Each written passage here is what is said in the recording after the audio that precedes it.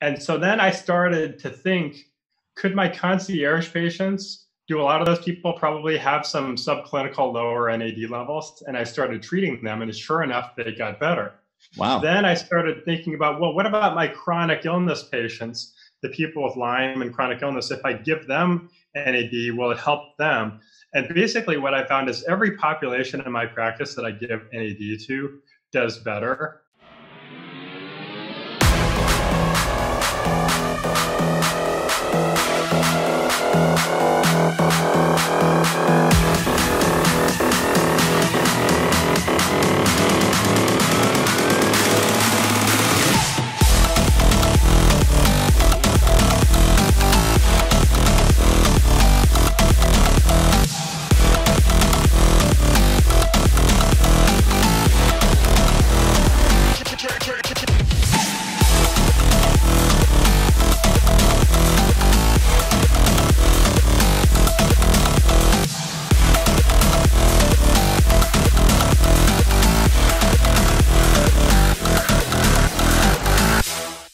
Well, thank you for joining us. I'd like to introduce Dr. Matthew Cook. Thank you for joining us today.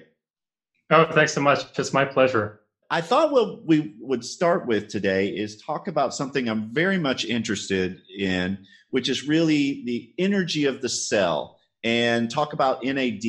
So tell us a little about your experience and how you utilize NAD in your practice. Can you give us some insight on that? And NAD is a, a, molecule that's a cofactor that helps enzymatic reactions all over the body and is ubiquitous in biochemistry. Mm-hmm. And, and it facilitates basically enzymatic reactions everywhere from the Krebs cycle to uh, the, the function of the uh, electron transport chain in the mitochondria. Okay. So that's good. The problem is, is that in life, if we don't sleep, our NAD levels go down. What happens is there's certain populations of people who have lower levels. Oh, okay. So one of the things that NAD does is it helps you break uh, break down alcohol. So every time you have an alcohol molecule in your body, you use two NAD molecules to break it down. So what I first started doing was doing NAD IVs for people with addiction. And what would happen is people would come in they would they would have incredible cravings and they would all have all kinds of symptoms and NAD would almost immediately make those cravings and a lot of symptoms go away. And so then I started to think could my concierge patients do a lot of those people probably have some subclinical lower NAD levels and I started treating them and sure enough they got better. Wow. Then I started thinking about well what about my chronic illness patients the people with Lyme and chronic illness if I give them NAD, will it help them? And basically, what I found is every population in my practice that I give NAD to does better. Are there any other um, really good uh, things to use it for? The one condition that really benefits from NAD is postural orthostatic hypotension. And that's a situation that is basically where people their autonomic nervous system is not working very well mm-hmm. and when they're walking around they feel like they're going to pass out there's a very very high overlap between this condition called POTS and Lyme disease and so what once I can onboard those people to getting enough NAD mm-hmm. then they'll stop passing out and I have so many people that I've treated where it took me 6 months or a year of treating them on a regular basis with NAD, and then all of a sudden they say, you know what, my POT symptoms are totally vanished. The interesting thing is, is that I started to get a lot of people who uh, were had really bad veins, and a lot of people that have been, you know, the opioid epidemic is so crazy. When we start to give IVs with NAD, everybody's veins get better. I think all vascular problems improve with NAD.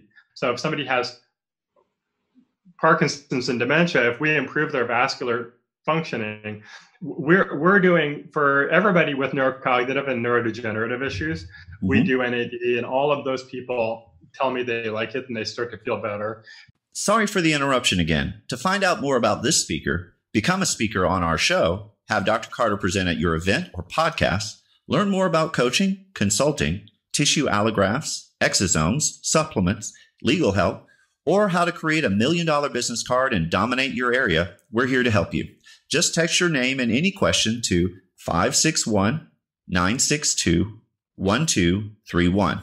Write that down. That's 561 962 1231. Or go to our website at drrosscarter.com to learn more. On with the show. So, how does chronic inflammation either uh, cause problems that are helped by NAD, or does NAD help with any type of inflammatory responses going on in the body? In the setting of inflammation, what I feel like that is, is that's a, a situation where the amount of inflammation that needs to be taken care of is beyond the body's uh, reductive capacities to, to deal with that. Yes. So, so there's more there's more fires for the, out there for that than firemen to, to put it out. Right. And and so NAD is kind of like a fireman. They can go in and start to begin to debulk the total amount of imp- inflammation. The goal really is not that you're going to do NAD for the rest of your life, but we're going to do targeted therapies to get the system working better. Your body's an amazing computer, and once we reset it, it's just going to go back to the factory default settings and start working great. Oh, that's awesome. I like that. The improvement in cognition and cognitive function with NAD may be the most profound thing. You know, I started doing it, and what I noticed is I, when I was going to work, I was just crystal clear all day long. And I also started noticing that at the end of the day, I had more energy than at the beginning. It just like my energy gets better and better and better. Um, and so then we started doing this for all of our concierge and wellness patients, where we would stack in a little bit of NAD. Have you studied neurofeedback at all? Uh, a little bit. So there's all of these different Brodmann areas in the brain that all do something different. Yes. And so when you start to do it, uh, and what's called a QEEG map, neurofeedback will try to train that area to yeah. come back online. So that's giving you verbal cues. If somebody's not doing this job, the brain has quite a bit of redundancy, and another area will try to do that part of the job, right. but then it won't do it as efficiently as it really ought to.